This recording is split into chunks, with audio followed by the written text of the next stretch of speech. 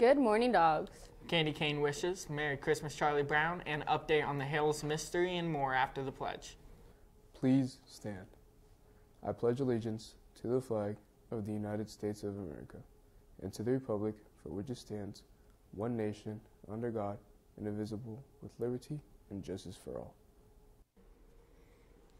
I know you all must have missed me, but I've been deep undercover to unravel the mystery behind the people we all know as the Hales. And I recently caught a lead, but I needed a little help, so I sent Garrett to further investigate. On the other hand, Student Council will be selling candy cane wishes Thursday and Friday of this week before school in the Commons.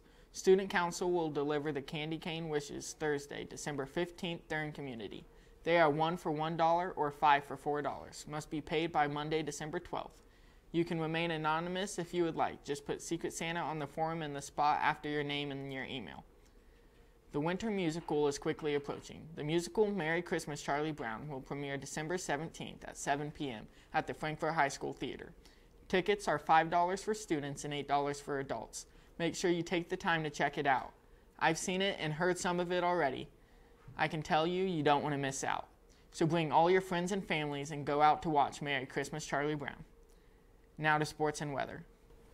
What's up, dogs? The freshman boys basketball team lost to Harrison last night.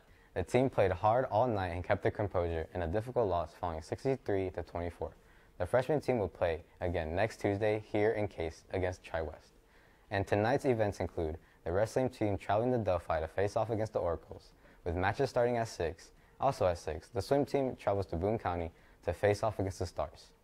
And JV boys and girls basketball will head to Liston for a doubleheader tonight against the Bruins.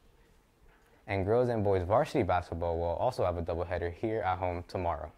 The theme is ESPN, and if you weren't asked to be on set, wear white. And if you were asked to be on set, be there and look good. And the game is broadcasted here live on the Hot Dog Network in partnership with the ISC Sports Network.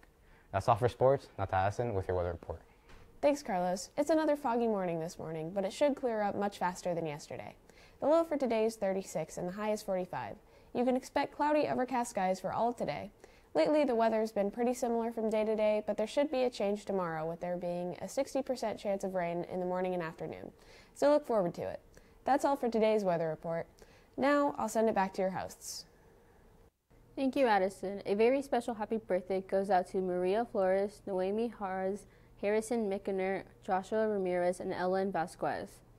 For lunch today, lines 1 and 2 chicken smackers, and lines 3 and 4 is assorted Big Daddy pizza. And that's all for today, dogs. Make sure you like and subscribe and tune in next time and have a terrific Thursday.